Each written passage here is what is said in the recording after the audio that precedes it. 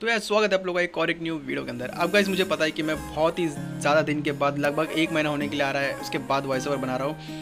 And मेरे को यहाँ पे कुछ प्रॉब्लम था, इसलिए मैं वॉइस ओवर नहीं बना पाया। लेकिन मेरे को एक ऐसा टॉपिक मिला ना एंड मेरे को यहाँ पे प्रॉब्लम भी मेरा सॉल्व हो गया, जो भी प्रॉब्लम चल रहा था घर पर वो भी सॉल्व हो गया।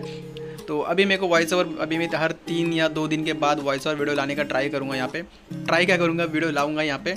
एंड यहाँ पे जगह मेरे, जो आज का जो वीडियो है ना, मेरे को बनाना ही पड़ा। मतलब मेरे को इतना अच्छा लगा ना ये वाला। चीज़ मेरे को आपको बताने का था, क्योंकि मेरे जो ऑडियंस है ना, बहुत सारे जन बोलते हैं कि, भाई, तुम मोबाइल्स के ऊपर वीडियो बनाओ कि कौन सा फ़ोन गेमिंग के लिए हमको लेना चाहिए। तो बहुत सारे मेरे जो ऑडियंस है, बहुत सारे जो लोग बोलते हैं कि, भाई, बताओ हम लोग को कि कौन सा फ़ोन लेना चाहिए? सो गाइज़ यहाँ पे मेरे को एक ऐसा फ़ोन मिला ना, जो अभी लॉन्च नहीं हुआ लॉन्च होने वाला है। लॉन्च मतलब जैसे चाइना में लॉन्च हो गया है, लेकिन हमारे इंडिया के अंदर लॉन्च नहीं हुआ है। लेकिन गाइस ये वाला फ़ोन जो है ना, बहुत ही ज़्यादा मेरे को बेस्ट लगा यहाँ पे अंडर ट्वेंटी फाइव थाउज़ेंड जो भी under twenty five thousand phone लेने वाले थे ना गाइस इस वीडियो को ज़रूर देखना। एंड टाइटल में और थलमेल में आपको वो फ़ोन तो दिख गया रहेगा, लेकिन गाइस मैं यहाँ पे आपको फ़ोन सबसे पहले मैं आपको फ़ोन के बारे में बता दूँ।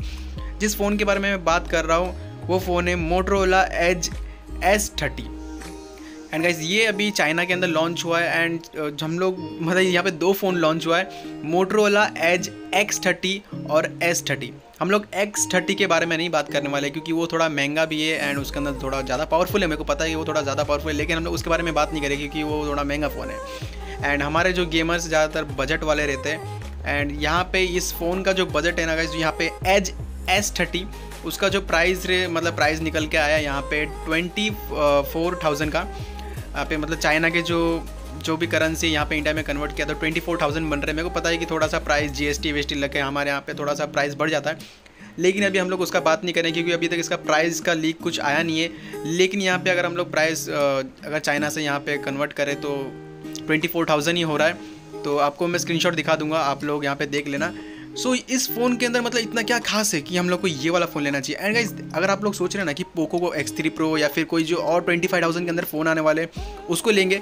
तो गाइज़ थोड़ा दिन और वेट करो। ये फ़ोन बहुत ही ज़्यादा मतलब जल्दी लॉन्च होने वाला है क्योंकि इसका बहुत ही एकदम स्ट्रॉन्ग लिख आ रहा है कि ये वाला फ़ोन इंडिया के अंदर और ग्लोबल के अंदर आने वाला है। तो थोड़ा सा वेट करो, ये फ़ोन अगर आ गया, अगर इस रेंज के अंदर twenty five thousand twenty six के अंदर, इससे अच्छा किलर डिवाइस आपको कहीं पे भी नहीं मिलेगा गेमिंग के लिए अगर आप लेने के लिए सोच रहे हो ना तो इससे अच्छा कोई डिवाइस मिलेगा नहीं। चाहे आप पोको एक्स थ्री प्रो बोलो या फिर कोई भी फ़ोन मेरे को पता है कि पोको एक्स थ्री प्रो काफ़ी ज़्यादा अच्छा जो डील निकल के आता है गेमिंग के अंदर लेकिन गाइज़ यहाँ पे ये जो फ़ोन है ना गाइज़ एकदम क्लियर है, क्योंकि इसके अंदर जो स्पेसिफिकेशन मिलता है ना, आप लोग खुद सुन के, अगर आप लोगों ने देख लिया कहीं पे वीडियो तो आपको पता रहेगा कि इसका स्पेसिफिकेशन क्या है। लेकिन गाइज़ मैं आपको स्पेसिफिकेशन बता देता हूँ, पहले इस फ़ोन का जो, इस फ़ोन का जो स्पेसिफिकेशन है तो इसके अंदर जो सबसे मेन चीज़ जो हम लोग गेमर को चाहिए रहता है, वो है यहाँ पे स्नैपड्रैगन मतलब प्रोसेसर तो प्रोसेसर के अंदर, इसके अंदर हम लोग को स्नैपड्रैगन ट्रिपल एट मिल रहा है यहाँ पे पोको एक्स थ्री प्रो के अंदर। को पता है कि वो थोड़ा उसका प्राइस रेंज कम है।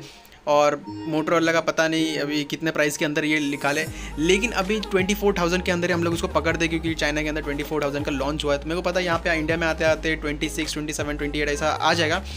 ट्वेंटी सेवन तक लास्ट ज़्यादातर चांस है कि ट्वेंटी सेवन तक आ जाए।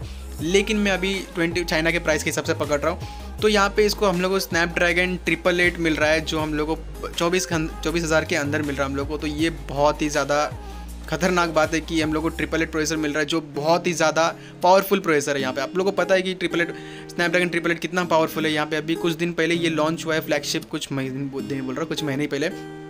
तो यहाँ पे हम लोग इस फ़ोन के अंदर जो मोटर वाला एज एस थर्टी है, उसके अंदर हम लोग को स्नैपड्रैगन ट्रिपल एट मिलता है और जो डिस्प्ले मिलता है, हम लोग को IPS मिलता है, यहाँ पे एमोलेड का नहीं मिलता है, क्योंकि यहाँ पे प्राइस कटिंग थोड़ा सा किया है इन लोगों ने। अगर इतना सब कुछ भर के देंगे एमोलेड तो थोड़ा सा प्राइस बढ़ जाता है गाइस इसलिए यहाँ पे इन लोग ने थोड़ा जो बजट है उनको कंट्रोल करने के लिए तो यहाँ पे लोग ने आईपीएस डिस्प्ले दिया। एंड आईपीएस के अंदर हम लोग को 144 फोर्टी हर्ट्स का डिस्प्ले मिलता है तो आपको स्मूदिंग को लेके कोई मतलब जो एकदम मक्खन वाला चलेगा ना, वैसे उसको लेकर आपको कोई भी चिंता नहीं है।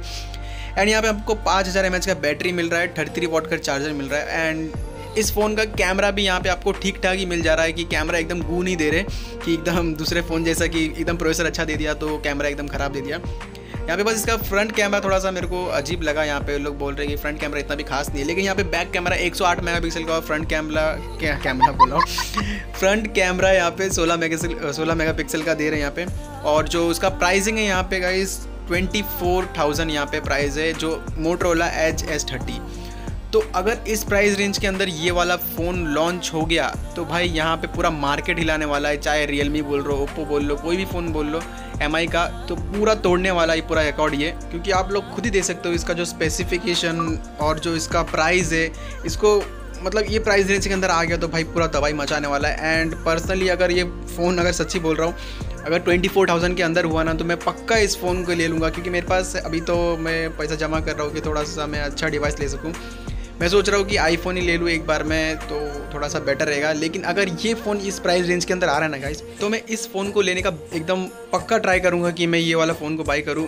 एंड मेरे को ज़्यादातर लगता है कि अगर इस फ़ोन का प्राइस अगर 25 26 के अंदर आएगा ना तो मैं ले लूँगा इस फ़ोन को और आप लोगों को ज़रूर इस फ़ोन का रिव्यू दूँगा।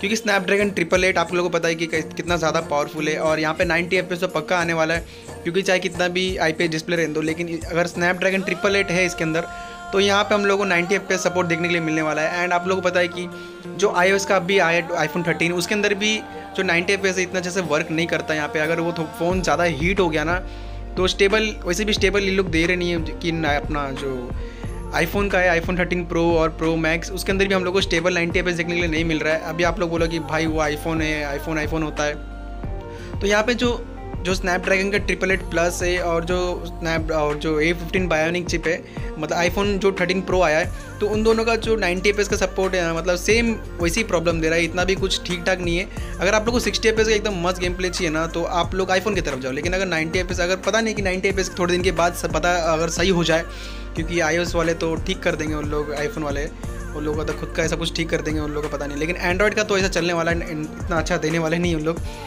तो चाहे कुछ भी रहें दो, लेकिन हम लोग अगर चौबीस हज़ार के अंदर हम लोग को नाइन्टी एफ़ मिलेगा तो बहुत ही ज़्यादा बड़ी बात है। और अगर ये फ़ोन इस रेंज के अंदर आया तो हम लोग ज़रूर इस फ़ोन को लेके रिव्यू करेंगे। सो गाइज़ बस आज के लिए इतना ही। अगर आपको ये वीडियो अच्छा वीडियो को लाइक करना, चैनल को सब्सक्राइब कर देना। मैं मिलूँगा नई वीडियो के लिए। तब तक के अलविदा। और कमेंट के अंदर मेरे को ज़रूर बताना कि आपको नेक्स्ट वीडियो किस टॉपिक पर चाहिए।